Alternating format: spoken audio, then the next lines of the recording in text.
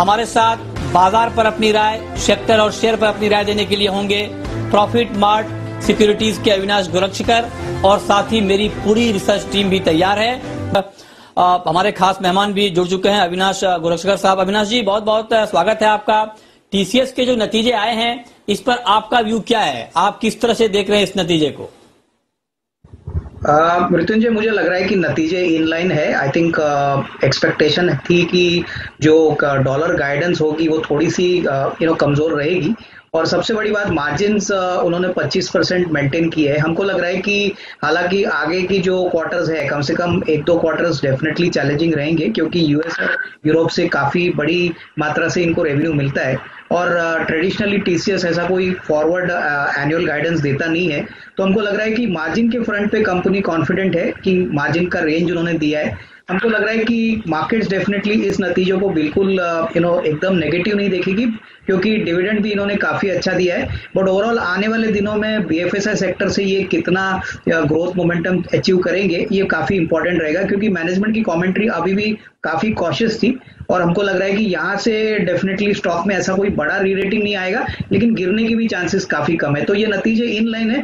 मुझे लग रहा है मार्केट्स डेफिनेटली इसको न्यूट्रल या ज़्यादा से ज़्यादा यू नो एक यू नो पॉजिटिव सेंटिमेंट के पॉइंट ऑफ़ व्यू से देखेंगे। कोई बड़ी गिरावट कल के सत्र में नहीं लग रहा है कि स्टॉक में देखने को मिलेगी। ओके तो कल आपको कोई बड़ी गिरावट इस स्टॉक में देखने को आप नहीं देख रहे हैं, ठीक है? लेकिन अविनाश जी, आज के बाज़ार पर अगर आपका व्यू लेना चाहें तो आज मार्केट की जो शुरुआत है, वो कमज़ोर हुई थी, लेकिन बाज़ार बहुत जल्द अपने आप को रिकवरी के मूड में ले आया। तो क्या ये माना जाए कि बाज़ार में अब रिकवरी की शुरुआत हो रही है? मृत्युंजय, मुझे लग रहा है कि मार्केट्स उम्मीद कर रहा है कि अप्रैल 20 के बाद जो भी अनाउंसमेंट्स गवर्नमेंट के साइड से आएँगे डेफिनेटली गवर्नमेंट चिंतित है कि जो लाइवलीहुड के लिए जो सेक्टर्स है, उनको शुरू करना है और यहाँ से कौन से सेक्टर्स और कौन सी कंपनीज़ को फ़ायदा होगा, ये ये मार्केट्स कीनली अवेट कर रहा है।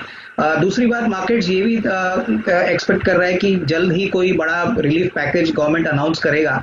और ये डेफिनेटली दोनों बातें होपफुली इस महीने में आने की पॉसिबिलिटी है। तो डेफिनेटली नेगेटिव न्यूज़ जो अभी तक आ रहा था उसको मार्केट्स काफ़ी यू नो नेगेटिवली से देखा है। तो अभी शायद मार्केट्स थोड़ा सा एक बॉटम बना सका है।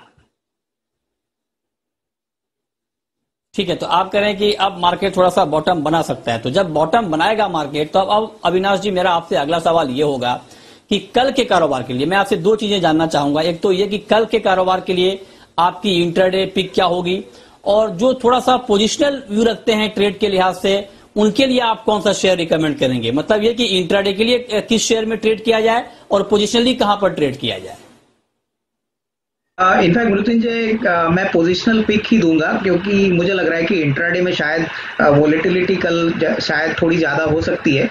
बट पोजिशनल के पॉइंट ऑफ़ व्यू से हमको लग रहा है कि जो प्राइवेट सेक्टर बैंक्स है जैसे कि आईसीआईसीआई बैंक है एक्सिस बैंक है यहाँ पे अच्छा पोजिशनल मूव मिल सकता है। इनफैक्ट आईसीआईसीआई बैंक में हमको लग रहा है कि 340 का जो रेट है नियर टर्म में तो कम से कम 370 300 यू नो पैंसठ का रेंज डेफिनेटली आने वाले हफ़्ते दस दिन में पॉसिबल लग रहा है। लेकिन लॉन्गर टर्म में करीबन अगर साल भर का नज़रिया ले तो इस बैंक में जो एसेट क्वालिटी का जो स्ट्रेस है प्लस जो लोन बुक की ग्रोथ है प्लस जो डाइवर्सिफाइड इनकम स्ट्रीम्स है ये हम्म। सारी उनके बिजनेसेस की होल्डिंग कंपनी है तो यहाँ पे करीबन चार सौ रुपए का भी टारगेट प्राइस पॉसिबल है। तो इसको डेफिनेटली एक अच्छा इन्वेस्टमेंट एज वेल एज एक शॉर्ट टर्म पोजिशनल पिक के विकल्प से इन्वेस्टर्स को कंसिडर कर सकते हैं।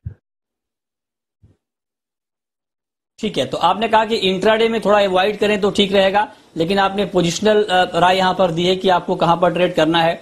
आगे हम आपसे लॉन्ग टर्म के लिए भी जानेंगे, लेकिन अविनाश जी आपको क्या लगता है, क्या अभी आईटी के शेयर आईटी सेक्टर दबाव में ही रहेंगे या कहीं से कोई उम्मीद दिख रही है आपको रिकवरी की? इनफैक्ट रोजिन जी हमको लग रहा है कि आने वाले एक, एक या दो क्वार्टर के लिए थोड़ा सा सिनारियो आईटी कंपनीज़ के लिए ज़रूर सॉफ्ट रहेगा क्योंकि जिस प्रकार का कोरोना वायरस का इम्पैक्ट ग्लोबली हो चुका है इनके सारे जो कस्टमर्स है वो ज़्यादातर यूएस और यूरोप में है और इसलिए शायद first half of F Y थोड़ा सा खराब रहेगा। होपफुली रिकवरी हमको आने वाले you know second half of F Y से देखने को मिलेगी।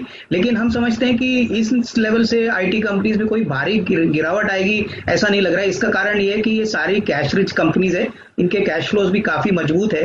तो इनके पास काफ़ी ऐसी सस्टेनेबिलिटी के यू नो वेपन्स है जो टिपिकली ये यू नो ऐसे खराब टाइम पे ये यूज़ कर सकते हैं। और हमको नहीं लग रहा है कोई बड़ी गिरावट होगी। तो डेफिनेटली जिनको लॉन्गर टर्म के लिए खरीदना है हमको लग रहा है टीसीएस हो या you know H C tech हो ये सारी कंपनीज़ में ग्रोथ वापस आएगा।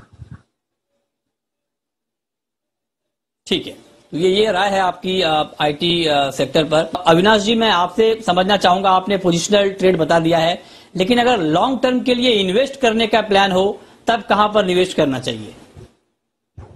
I think Mrityunjay longer term में हमको टेलीकॉम सेक्टर में एक भारतीय एयरटेल काफ़ी पसंद है। हमको लग रहा है कि ये एक ऐसा सेक्टर है जो होपफुली इस लॉकडाउन में भी इतनी ज़्यादा ज़्यादा गिरावट नहीं दिखाएगा और जो अर्निंग्स आएगी वो काफ़ी अच्छी होने की उम्मीद है।